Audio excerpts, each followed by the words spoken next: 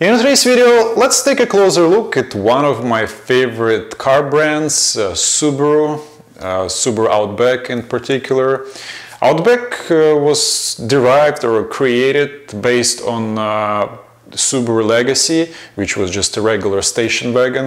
In 1994, the concept was created by uh, Subaru of America, North American division of Subaru, uh, which was experiencing uh, slow sales in the mid 90s due to lack of their entry into the uh, quickly developing uh, SUV market. So, not having the finances to create new vehicles, uh, Subaru decided to get uh, plastic panels, just slap them on the side of the vehicle. Uh, these days they would call it facelift. They also lifted the suspension and gave it a name, Subaru uh, Legacy Outback, after the Australian wilderness uh, desert uh, outback. They also hired uh, actor Paul Hogan, who was the star of this new movie Crocodile Dundee. Uh, to promote this vehicle and be a spokesman uh, for Subaru. And uh, this model was marketed as more capable and more fuel efficient than uh, any other uh, truck-based SUV of that time. And the ad campaign was so successful that in the first nine months they were able to sell over 20,000 units. And Paul Hogan, who was a former salesman apparently, told Subaru allegedly that uh, you better get ready to make a lot of this because I'm going to sell. And it was not just a successful ad campaign, but it was also the uh, vehicle that was uh, very capable that they were able to create with all of those uh, additions. Because first it was sold as an option of uh, uh, Subaru Legacy. they offered famous Subaru all-wheel drive system with raised suspension and mud tires and um, skid plate and uh, mud flaps and uh, uh, roof rack for luggage. They were able to actually sell so many of those cars that uh, it was admitted by uh, senior vice president of Subaru that uh, car actually saved the company.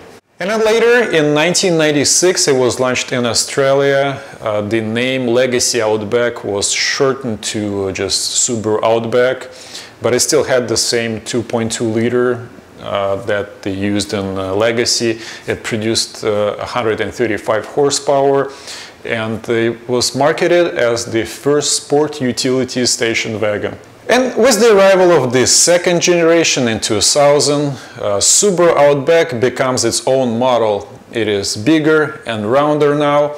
It also employs 2.5 liter engine that is uh, standard four-cylinder engine that produced 165 horsepower.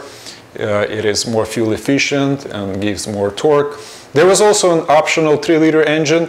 It is six-cylinder that produced 212 horsepower.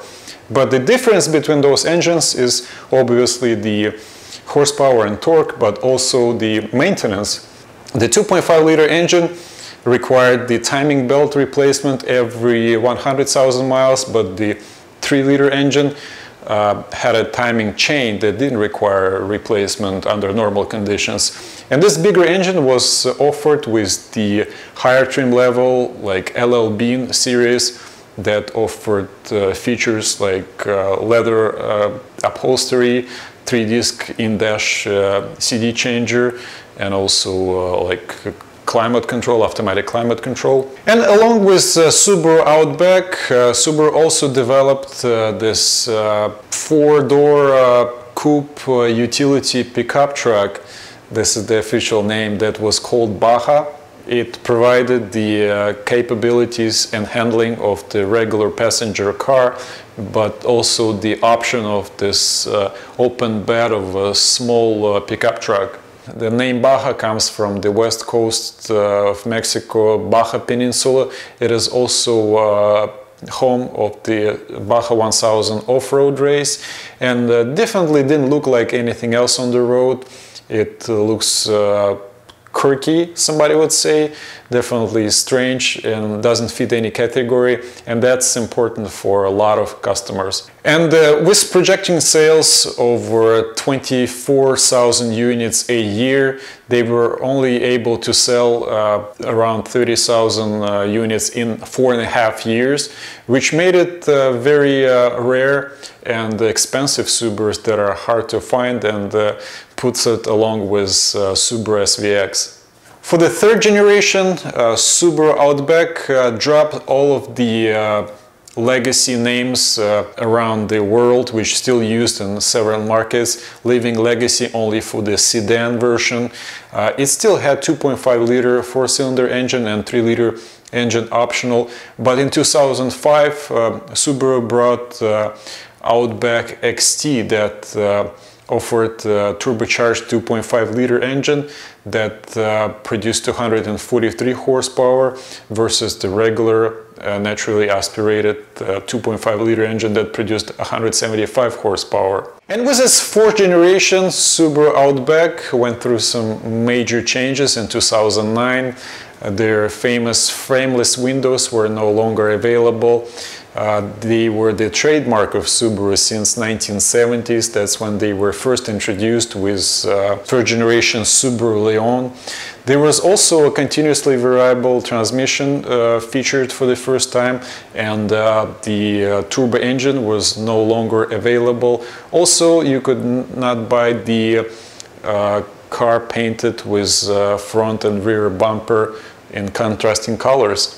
And finally, with the current generation that went on sale in uh, 2014, now uh, Subaru Outback is classified as a crossover.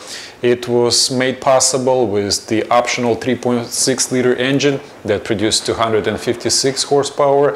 It uh, pushed this uh, vehicle into this new category. Uh, it still employs the uh, continuously variable transmission, but it is now only one option. Uh, there is a base 2.5 liter engine as well that produces 175 horsepower. It is considered one of the best uh, Subaru engines ever made. There is still a symmetrical all-wheel drive system which is just exceptional and the Subaru's trademark. That's all I have for you today guys. Check out my channel for my other videos but for now thanks for watching and see you in the next one.